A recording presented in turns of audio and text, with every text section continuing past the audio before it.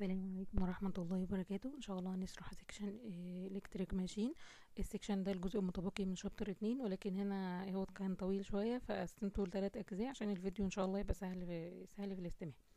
طيب الجزء أول chapter أول slide فيها بيقول لك أنا هشتغل عندك على ال voltage regulation ال voltage regulation دي معناها عندك إيه؟ ال voltage regulation دي حاجة وسيلة بقيس بيها جدارة ال transformer. ال goodness بتاع كل transformer والتاني. لو أنا عايزة أعمل comparison بين كل transformer والتاني أشوف ال regulation بتاعته وال regulation دي آه قانونها عبارة عن إيه؟ هو عبارة عن جهد على جهد. طيب الجهد اللي فوق عبارة عن إيه؟ عن فرق جهد فرق جهدين مع بعض. طيب الجهد الأولاني اسمه E no load ناقص ال V rated على ال V rated E no load دي عندك إيه؟ أنا لما بعمل تجربه ال experiment بتاعه ال open circuit test بقيس عندك بالفولتميتر ال E no load دي. طيب قست عندك ال E no load دي. تمام هي دي أنا بقيسها عندك لما يكون ال load عندك مش موجود. تمام طيب وال V rated دي اللي هي ال rated اللي هي بتاعه ال full load اللي هي عادي بتبقى given معاك في المسألة عادي. على ال V rated تخلي بالك هنا لو أنت شغال عندك في المسألة high side يبقى ال E no load high side ال V rated high side طيب لو low side يبقى كل الجهود بتاعتك low side طيب ال regulation مرة عندك بتطلع. موجب ومرة عندك بتطلع سالب. الموجب عندك لو ال E no load أكبر من ال V بتاعت ال rated سالب عندك لو ال E بتاعت ال no load أقل عندك من ال V rated طيب لو جينا نشوف ال slide اللي وراها هنعرف عندنا ال E no load دي يعني إيه. جاي لو أنا هشتغل عندك referring ناحية ال low side يبقى هتحسب ال E no load عندك ناحية ال low side لو فاكرين في ال transformer في ال transformer لما كنا بنرسم ادي الاتنين coils ادي coil هنا و coil هنا لو أنا عايزة أجيب الفرق ما بين ال E وما بين ال V ال E دي أنا قستها على أطراف. على أطراف ال coils نفسها حالة ال no في حالة ال no load بتاعته تمام. طيب أهي الاي لود الاي الاي الاي داش لود لو سايد هتساوي عندك ال I low side في Z equivalent من ناحية ال low side زائد ال V low side تمام ال I low side دوت ال rated ال rated low side current عندي specified power factor هنشوف ال power factor في المسائل عندك. ال power factor بستفيد عن منها إن أنا بحدد عندك الزاوية بتاعة ال current بتاعك سواء بقى موجب أو سالب على حسب ال power factor lead ولا lag طيب ال V low side دوت ال rated برضو low side voltage ال E اهي ال E ال E low side dash عندك no load low low side voltage ملاحظة هنا إن أنا لما باجي أشتغل عندك low side يبقى كله low side هشتغل high side يبقى كله high side طب إيه Z equivalent low side دي بيقولك أنا equivalent impedance بتاعت ال transformer بس من ناحية ال low side اللي هي هتساوي ال R equivalent low side زائد ال X زائد j X equivalent low side خلي بالك إن ال equivalent هنا واخدة معاها الار بتاعت الهاي سايد والآر بتاعت اللو سايد مع مراعاة ال turns ratio. لو جينا نشوف ال example اللي عليها هو example اتنين سبعة صفحة تلاتة وستين. ال example دوت بيقولك ال equivalent low side parameters of ماشي. ال parameters عندك الأول يعني X و X وال R وال Z لو موجودة given معاك X و R بقى. بس هنا أنا بقولك من ناحية ال low side تمام. of إيه بقى 250 كيلو فولت أمبير. 250 كيلو فولت أمبير دي عندك اللي هي ال S أربعة آلاف مية وستين على ربعمية وتمانين voltage دي كده الجهود بتاعته اللي مكتوبة على ال name plate. ممكن يشتغل بيها وممكن يشتغل بأقل أو أعلى على حسب في بيبقى في نسبة سماحية بتاعتك في ال system بتاعك. ستين في المية هرتز transformer R R E D بقى عايدة على ال low side parameters أهي بيقولك ال R equivalent low side قيمتها اتنين وتسعين عشر تلاف أوم. وال X equivalent low side قيمتها عندك ربعمية تلاتة وتلاتين من عشر تلاف اوم تمام طيب ال transformer عندك شغال step down ولا step up هنا قالك إن أنا شغال step down بالصدفة جت عندك زي اللي مكتوب على ال name plate. بيقول لك delivering and is delivering rated current and rated voltage at 84 من 100 power factor lagging load. هنا ال system بتاعك بيقول لك أنا شغال بوصل ال rated current وال rated voltage عادي عند power factor بتاعك أربعة وتمانين في المية.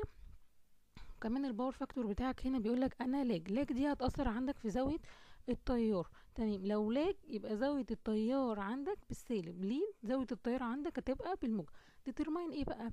رقم إيه بيقولك أنا عايز ال no load voltage رقم B ال actual input بتاع ال actual input voltage من ناحية ال high side طيب أنا هنا بقول لك أنا شغال عندك أنا أنا قلت لك أنا شغال step down طب تمام بعد ما اشتغلت step down إيه اللي هيحصل عندك؟ هتلاقي عندك إن ال input متوصل ناحية ال high side وال load عندك متوصل ناحية ال low side دي معلومة أنا عرفتها. عشان كده بيقول لك في رقم B هات لي ال actual input voltage at ال high side يعني عايز ال V T من ناحية ال high side رقم C عايز عندك ال high side current ال I high side رقم D عايز عندك ال input impedance ال Z input رقم E عايز ال voltage regulation رقم F voltage regulation لما اغير في قيمة ال power factor لا قيمة ال power factor زي ما هي أربعة وتمانين في المية بس خلي بالك هنا خلاه leading التاني كان lagging تمام؟ وبعد كده بيقولك ارسم لي ال phasor diagram من tail من tip to tail من البداية للنهاية. عند power factor أربعة وتمانين في المية بس خلي بالك هنا إن قيمته lagging وليس leading تمام. وضح لي كل الجهود اللي أنا محتاجها في ال system بتاعتك. كل الجهود اللي أنت هتستخدمها في ال system. تمام. طيب لو أنا أول مطلوب رايحين نشوفه ال E بتاعت ال no load لو فاكرين ال E no load إحنا قلنا قلنا هنا إن ال load عندك هيبقى متوصل ناحية ال low side يبقى ال E اللي أنا هروح أجيبها من ناحية ال low side تمام. لو فاكرين في قانون ال في قانون ال E بتاعت ال no load كان بيحتاج ال I وال Z زائد ال V طيب ال I وال Z أنا هشتغل ال load بتاعك هنا هيبقى ناحية ال low side وكمان قالك أنا no load يبقى يبقى تجيب ال E dash من ناحية ال low side كان في قانونها محتاجين ال I low side و Z equivalent low side زائد ال V بتاعه ال low side تمام. طب أنا هروح هنا أحسب إيه؟ ال I بتاعه ال low side دي أول حاجة أنا محتاجها. ال I عندك عبارة عن إيه؟ ال S على ال V ال S عندك كانت 250 كيلو. يبقى تضربها في 10 اس 3 على ال V بتاعها من ناحيتها اللي هو 480 أجيب لها قيمة 520 83 من 100 أمبير.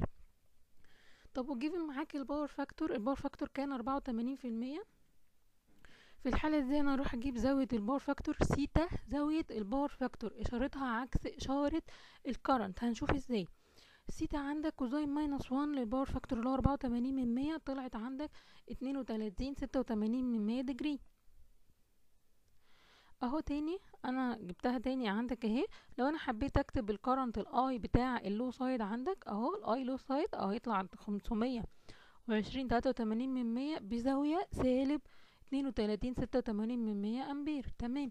طيب ال V low side بتاعك ال V low side هو given معاك عادي هنعتبره ال reference فهو يبقى أربعمية وتمانين بزاوية zero. طيب ال I low side ال current بقى ال E no load من ناحية ال low side يبقى ال I low side في ال Z equivalent بتاعة ال low side زائد ال V low side طب ال Z equivalent فكها هنا ال R equivalent low side زائد j زائد j X equivalent low side وضرب التيار فيها. ادي التيار قيمته موجودة معاك والمقاومة موجودة given معاك وال X قيمتها given برضو معاك والفولت موجود. تعويض مباشر في المعادلة جيب قيمة ال E load ال E low side اللي هو بتاع ال E بتاع ال no load تمام. أنا جبته معاك هنا خلاص ده مطلوب رقم A طب مطلوب رقم B مطلوب رقم B بقولك هنا أنا محتاج عندك ال input voltage من ناحية ال high side طب ال input voltage من ناحية ال high side أقدر بال turns ratio بدلالة ال turns ratio أجيبه من ناحية ال low side طيب ال turns ratio أنا عايزه أروح أجيبها هجيبها منين؟ يبقى ال E بتاعة ال high side على E بتاعة ال low side أو V high side على V low side الاتنين بعلامه تقريبا في النص. جابها مية وستين على أربعمية وتمانين دي اللي هي ال given المكتوبة على ال name plate المكتوبة في أول المسألة. طلعت عندك تمانية point ستة وستين من مية.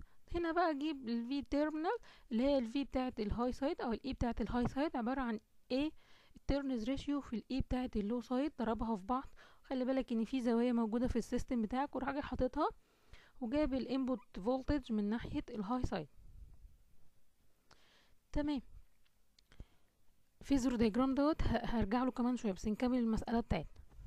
طيب ال I high side أجيبه بدلالة ال current بتاع ال low side أنا كنت جايبها من شوية يبقى ال I low side على ال A طيب عايز يروح يجيب ال Z input بتاعتك. ال Z input دي هجيبها كلها على بعضها. ممكن تجيبها بدلالة ال equivalent ال Z equivalent بتاعتك. وتشوف ال system محتاج فيه إيه؟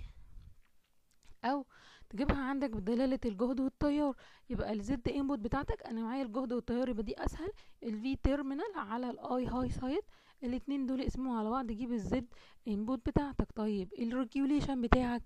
ال regulation هنا لسه زي عند ال power factor بتاعك أربعة وتمانين من مية. ولاجنج الاي لو سايد الاي بتاعت النو لود والفي ريت الاي بتاعت النو لود هتبقى لسه زي ما هي لأن زاوية التيار بتاع ال low side لسه متغيرتش. أنا شغاله عند power factor أربعة وتمانين من مية lagging لسه فمفيش حسابات عندي هتتغير فهعوض تعويض مباشر بالقيم اللي هي اللي أنا القيمة اللي أنا حسبتها وال 480 دي given هيطلع معاك عندك يا إما 0.034 يا إما تسيبها كده يا إما تضربها في مية وتحط علامة في المية معاك. طيب رقم F بيقولك ال power factor بتاعك بقت قيمته أربعة وتمانين من مية بس leading دي هتأثر معاك على إيه؟ على زاوية التيار بتاعتك بدل ما كانت سالب هتبقى موجب. وهنا ال power factor هو هو نفس القيمة فيطلع نفس الزاوية بس بعكس الإشارة. احسب احسب عندك ال E low side جديدة. تختلف معاك عشان الزاوية اختلفت معاك. تطلع قيمتها ربعمية اتنين وسبعين تمانية وعشرين من مية بزاوية اتنين point ستة واحد من عشرة اتنين point ستة واحد. احسب ال regulation جديد عندك اللي موجود في ال system بتاعك عادي الانو لود ناقص الفي ريتد على الفي ريتد بتاعتك عادي. طلعت قيمتها هنا سالبة أهي لأن ال no load عندك بقى أقل من ال V rated ال given معاك. طيب قبل كده كان لو شفنا في المطلوب اللي هو ال regulation اللي قبل منها ال regulation اللي قبل منها كانت ال E no load أكبر من ال V rated فطلعت ال regulation قيمتها موجبة. زي ما قلنا لما كنا بنشرح القانون.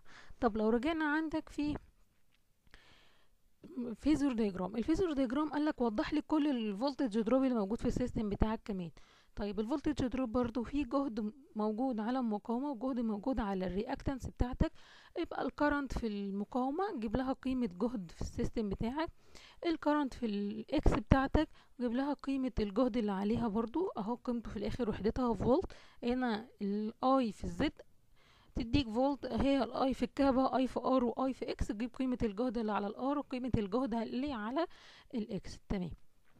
طيب أنا عايز أروح أرسم بقى ال phasor diagram ال phasor diagram ده بيقول لك إيه؟ أنا عندك أدي الجهد ال low side أنا خدته عندك هو 480 بزاوية zero. أنا حطيته هو ال reference بتاعي. طيب ال I low side ال I low side موجود له موجود له قيمة بزاوية 32 degree. ادي اهو الزاوية بتاعته. هو 32 أنا هنا شغالة على power factor lagging. يبقى هو زاويته بالسالب. يبقى هيجي عندك lagging متأخر عن ال system بتاعك عن ال reference بتاعك. ادي ال I low side اهو دي ال V low side تمام؟ طيب لو أنا حبيت ارسم الجهد ال voltage drop اللي على المقاومة وال voltage drop اللي على ال X ال voltage drop اللي على المقاومة مش هنلاقيه عامل phase shift مع التيار بتاعك. فهترسمه في اتجاه التيار بس قيمته صغيرة. طيب.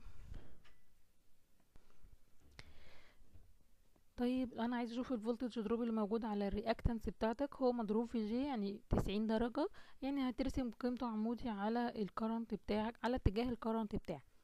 طيب ال E low side ال E low side زاويتها صغيرة مع ال V low side وارسمها عندك موجودة أهي بس زاويتها موجب يبقى هتبقى اتجاهها لفوق في الربع الأولاني. طب لو حبيت أجمع أجمع بقى الرسمة دي كلها على بعضها تلاقي عندك ال current ادي ال V low side عندك هو ال reference اللي موجود في ال system بعد من كده هتلاقي الاتجاه ال V اتجاه الجهد اللي على ال resistance أهو موجود بس بقيمة صغيرة خالص أهو.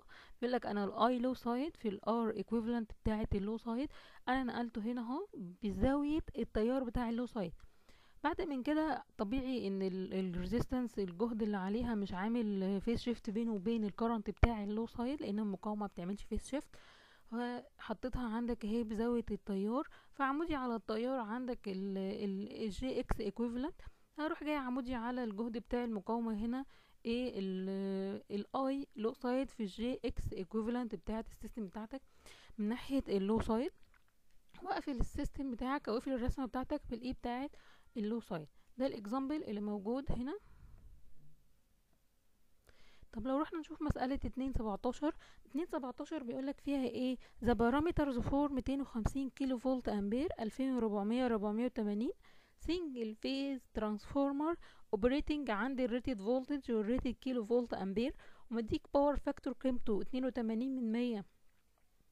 power factor بيقولك إن أنا lagging are are إيه بقى؟ على ال parameters بتاعه ال system بتاعك ال X وال R قالك هنا ال X equivalent من ناحية ال high side قيمتها واحد point O تمانية اوم وال R equivalent من ناحية ال high side قيمتها 0.123 اوم ال transformer بتاعك قالك إن أنا أشتغل step down step down عندك جت بالصدفة نفس ال data اللي هي given 2400 و 480 نفس ال data اللي هي given بتاعتك. تمام.